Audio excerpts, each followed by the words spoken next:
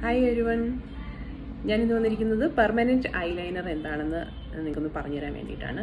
നമുക്ക് പെർമനന്റ് ഐലൈനറിന്റെ ഒത്തിരി സർവീസിന്റെ പിക്ചേഴ്സ് ഞാൻ ഒത്തിരി അപ്ലോഡ് ചെയ്തിട്ടുണ്ട്. അപ്പോൾ പലരും ചോദിക്കുന്നത് അയ്യോ കണ്ണല്ലേ? കണ്ണിന്റെ അടുത്തൊക്കെ ഇത് ചെയ്ത് കഴിഞ്ഞാലും എന്തെങ്കിലും പ്രശ്നങ്ങളുണ്ടാവും ഒരു പ്രശ്നം ഉണ്ടാവില്ല. കേട്ടോ ആദ്യം തന്നെ പറയാം. പിന്നെ വേറെ എന്ന് വെച്ചാൽ പല രീതിയിൽ നമുക്കിതിനെ ചെയ്യാം. എനിക്ക് ചോദിക്കും എപ്പോഴും കണ്ണ് എഴുതിയ പോലെ ഇരിക്കില്ലെന്ന്? ഒരിക്കലും ഇല്ല.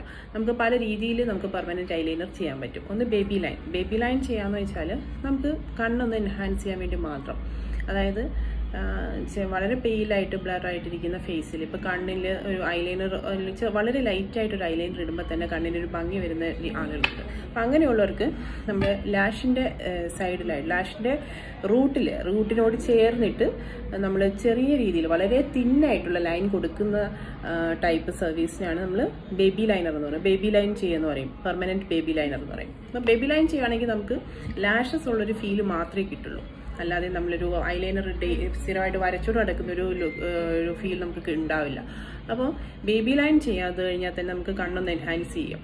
പിന്നെ അല്ലാതെ ഡെയിലി നമ്മൾ ഐലൈനർ അല്ലെങ്കിൽ കാജലൊക്കെ വരച്ച് നടക്കുന്നവർക്ക് പെർമനന്റ് ആയിട്ട് ചെയ്യണമെന്നുണ്ടെങ്കിൽ നമുക്ക് പെർമനന്റ് ഐലൈനർ എന്ന് പറയുന്ന സർവീസ് നമുക്കിവിടെ അവൈലബിൾ ആണ്. പെർമനന്റ് ഐലൈനർ ഒരിക്കലും അതിന് യൂസ് ചെയ്യുന്ന പിഗ്മെന്റ്സ് മിനറലൈസ്ഡ് പിഗ്മെന്റ് ആണ്. അതുകൊണ്ട് തന്നെ സ്കിന്നോ അല്ലെങ്കിൽ നമ്മുടെ കണ്ണിനോ ഒന്നും യാതൊരു ദോഷവും വരുന്നില്ല.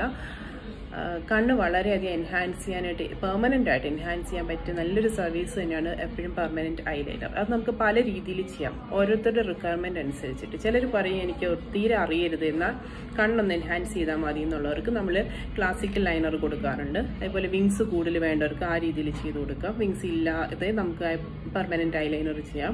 അങ്ങനെ ഏത് രീതിയിൽ വേണമെങ്കിലും നമുക്ക് പെർമനന്റ് ഐലൈനറും ചെയ്യാം. താഴെ നമ്മൾ കാജൽ ഡ്രോ ചെയ്യണ പോലെ കണ്ണിന്റെ താഴെ ഐലിഡിലും അതായത് ലോവർ ലിഡിലും നമുക്ക് ഇത് ചെയ്യാൻ പറ്റും. പെർമനന്റ് ആയിട്ട് ലൈൻ ചെയ്ത് തരാൻ പറ്റും. അപ്പോൾ ഇത് നമ്മുടെ പെർമനന്റ് കോസ്മെറ്റിക്സിലെ വേറൊരു സർവീസാണ് നമുക്ക് പെർമനന്റ് ഐ ലൈനർ എന്ന് പറയുന്നത്. അപ്പോൾ നമുക്കതൊരുകൊണ്ട് എല്ലാവരും ചോദിക്കുന്ന അയ്യോ ആദ്യം കണ്ണല്ലേ? എന്നുള്ളൊരു ടെൻഷൻ എല്ലാവർക്കും ഉണ്ടാകും അതൊന്നും പേടിക്കണ്ട. വളരെയധികം പ്രാക്ടീസ് ഇതിൽ ചെയ്തതിന് ശേഷം ഒത്തിരി ക്ലയൻസിനെയൊക്കെ എടുത്തിട്ടാണ് നമ്മൾ നിൽക്കുന്നത്. അപ്പോൾ അതുകൊണ്ട് ഒരു കാര്യത്തിലൊന്നും പേടിക്കേണ്ട കാര്യമില്ല. പെർമനന്റ് ഐലൈനർ വളരെ നല്ലൊരു സർവീസാണ് ഐ എൻഹാൻസ്മെന്റിന് താങ്ക് യു